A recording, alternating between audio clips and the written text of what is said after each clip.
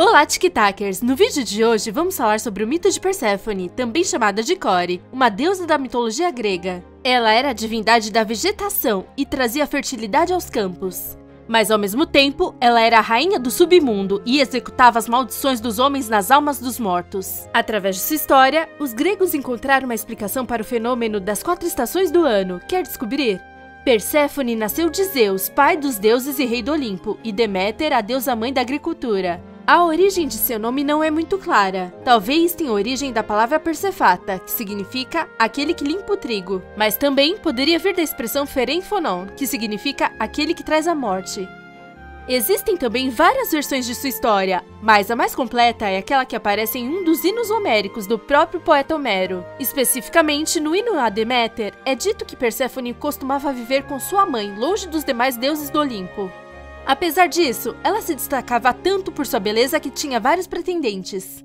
Entre eles estavam Hermes, o deus do engenho, Ares, o deus da guerra, Apolo, o deus das artes e Hefesto, o deus do fogo e da forja. No entanto, sua mãe Deméter rejeitou todos os presentes e pedidos de namoro, escondendo a sua filha das outras divindades olímpicas. Um dos que mais se apaixonou por Perséfone foi Hades, o deus do submundo, o reino dos mortos. Decidiu pedir a seu irmão Zeus, pai de Perséfone, permissão para casar-se com ela, e conseguiu. Mas Deméter nunca permitiria que sua filha fosse para o submundo, então ela planejou sequestrá-la e levá-la com ela para os seus domínios. Um dia, Perséfone estava inocentemente colhendo flores em um campo de Ena, na ilha da Sicília. Além de algumas ninfas, ela estava acompanhada por Atena, deusa da sabedoria, e Artemis, deusa dos animais. Quando se abaixou para pegar um narciso, houve um forte estrondo e uma rachadura se abriu no chão. Dela surgiu Hades, que sem oposição montou Perséfone em sua carruagem e a levou para o submundo.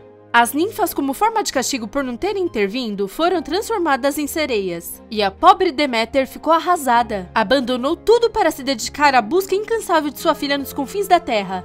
Auxiliada pelas tochas de Hecate, divindade dos caminhos e terras virgens. Como deusa da agricultura, a obsessão de Deméter naturalmente afetou a natureza. Segundo algumas versões, ela proibiu a semeadura da terra. Em outras, ela simplesmente negligenciou seu trabalho de mãe da agricultura devido ao desespero, e os campos perderam a fertilidade.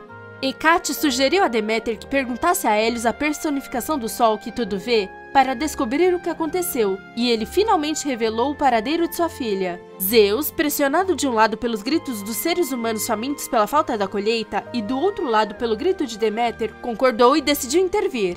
Ele ordenou que Hades libertasse Perséfone, enviando Hermes, o deus da inteligência, para resgatá-la. Hermes negociou duramente com Hades e finalmente conseguiu convencê-lo. Uma das condições para que Perséfone pudesse deixar o mundo inferior era que ela não consumisse comidas de lá. E de fato, na tristeza de seu cativeiro, ela se recusou a comer qualquer coisa, mas antes que ela pudesse deixar o submundo, Hades a enganou para que comesse seis sementes de romã. Hermes conseguiu trazê-la de volta com sucesso, mas como punição por ter comido comida do mundo inferior, Perséfone foi forçada a voltar todos os anos, um mês para cada semente que ela havia colhido. A partir de então, ela passaria seis meses por ano no Olimpo com sua mãe e outros seis meses no submundo com Hades. Quando Deméter e sua filha estavam juntas, a terra florescia com vegetação, mas na outra metade do ano ficava uma terra estéril novamente. E é assim que os gregos antigos explicavam o ciclo das quatro estações e o seu efeito na natureza. Além disso, Perséfone também aparece em muitos outros mitos clássicos, como a história de Orfeu, o músico que desceu ao inferno para resgatar a sua esposa morta. Perséfone fica tão comovida ao ouvi-lo tocar que lhes permite retornar à Terra novamente. Ou no mito de Adonis, um jovem tão bonito que a própria Afrodite, deusa da beleza, se apaixonou por ele. Foi ela quem o enviou a Perséfone para cuidar dele, mas ele não contava com a rainha do submundo para ficar obcecada por ele e se recusar a devolvê-lo. A disputa foi resolvida por Zeus, que decidiu que Adonis passaria parte do ano com cada um.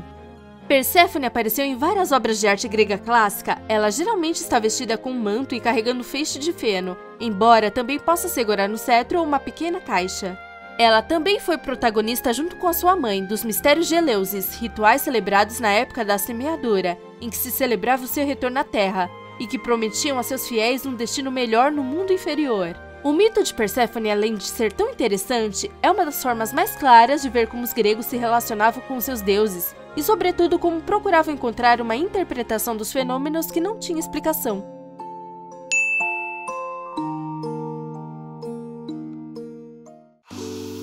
Não se esqueça de se inscrever e deixar o seu like se você curtiu. Até o próximo vídeo!